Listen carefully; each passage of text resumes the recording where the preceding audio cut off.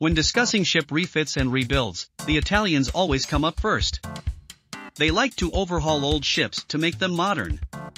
This could be like Garibaldi, which added ballistic missile tubes to an old cruiser. The old dreadnoughts, Vors, and Dorias are more famous.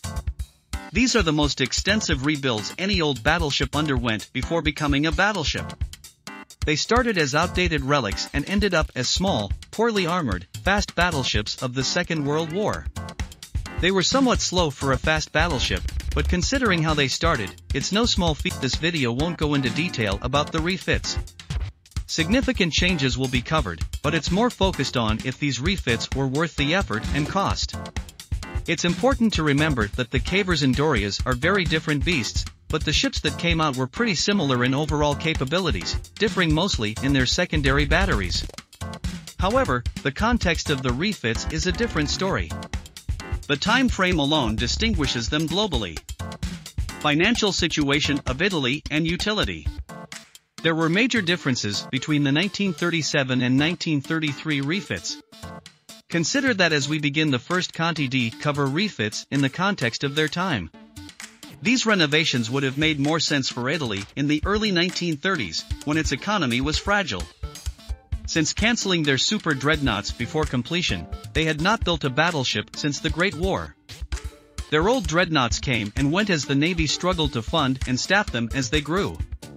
More outdated, enter next came the French New Dunkirk. This small battleship was built in 1932 to counter German sponsorship. Dunkirk was not intended for Italy, but she could defeat any Italian battleship, so Italy, in a rivalry with France, saw a need to counter her quickly. Italian naval designers occasionally proposed small battleships. Late 1920s cruisers and Dunkirk-sized rages had no budgetary concerns and at least some intention to follow the treaty system. Similar attempts to modernize old dreadnoughts were based on the apparent impossibility of improving their underwater protection, which was already fatally outdated the Italians scrambled to counter the new French battleship. The old concept designs and new counters were dismissed while likely superior ships were built. Freshly built from the keel up, the time needed was excessive compared to modernizing the old ships.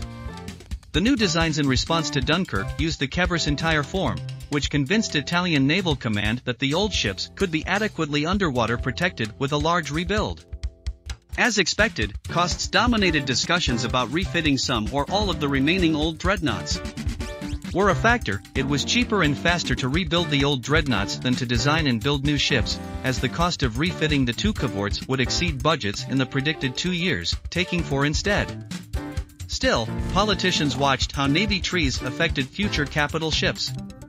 Construction was a good idea at the time, when rebuilding these two ships and only these two while the Dorias waited made sense.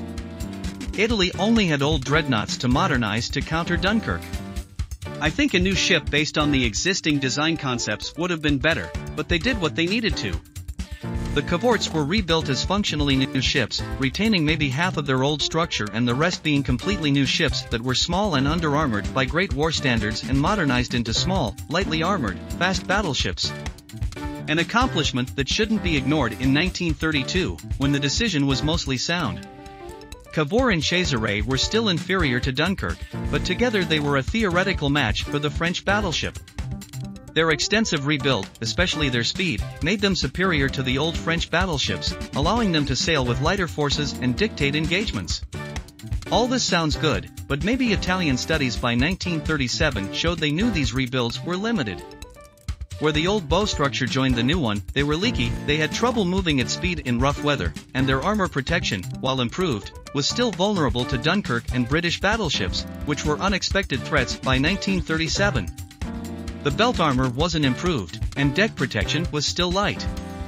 They had dispersion issues and were only slightly less capable than Dunkirk's guns, arguably worse, and certainly inferior to British 15-inch guns. Most damningly, underwater protection was compromised. These ships used the Pugliese system hackily, as it wasn't built into the design like Littorio and had to be built inside the hull. As early as 1937, the Cavours were apparent as a decently capable pair of ships, but ones with flaws that remain inherent to their designs, they were small, under-armored, and generally underperforming. In light of that, rebuilding them made sense and produced capable warships, just not as capable as Italy wanted. After that, we went to Dorias. The study I mentioned was from 1937. When were Dorias rebuilt? They began in 1937. To be fair, the 1935 decisions modernized them. While the Littorios were far off, the Cavours appeared to be good uses of the money. If Italy needed more forces quickly, rebuilding the old battleships seemed cheaper, despite cost overruns. Italian command circles also believed, most everyone else is refitting old relics, so why shouldn't we? Okay, I'm joking, but that was a major factor in rebuilding the Dorias. A persistent belief that other navies mostly sailed around with ships of similar vintage, so rebuilding the old ships would produce ships comparable to them. France may have put little effort into modernizing their old battleships, but Britain was already a potential foe. Although the decision is questionable, the Italians saw it as necessary because the unmodernized Dorias were useless in combat. Their guns, armor, and combat utility were outdated, so they couldn't compete with modern forces. Taking lessons from the Cavours and building the first two Littorios was better than keeping them in their Great War design.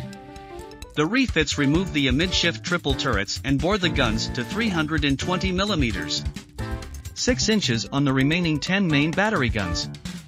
The power plants increased power with new turbines and boilers and reduced shafts from 4 to 2. Dorias had more extensive rebuilds than Cavour's, but this can be summed up, Cavour had a new bow grafted on top of her leaky old one. Andrea Doria would have had a new bowel structure that was still leaky where it joined the old hull but not as bad. Second, the Kevrebind received 12 120mm guns and 6 twin mounts and 8 100mm anti-aircraft guns and 4 twin mounts. Doria would directly improve this by adding a dozen 135mm guns and 4 triple turrets to her secondary battery, lifting Littorio's 90mm anti-aircraft guns to replace the old 100mm mounts, and fitting 10 in single mountings. The main differences between the rebuilds are those. It probably doesn't seem like much more importantly, the Doria sisters rebuilds, which are supposedly cheaper than new battleships, were almost twice as expensive as the Cavours, and the cumulative cost was close to that of a single Littorio, not quite there, but closer than the Italian Admiral team would have liked. While the decision to rebuild the old battleships came a year before the placing the second pair of Littorios the construction of Roma and Impero is likely to be affected. The sanctioned Italian industry struggled to produce enough steel plates and other products. It's possible that not rebuilding the Dorias would have sped up Roma's completion and the Pero period. If the two Dorias had been scrapped, the Italians would have had more steel.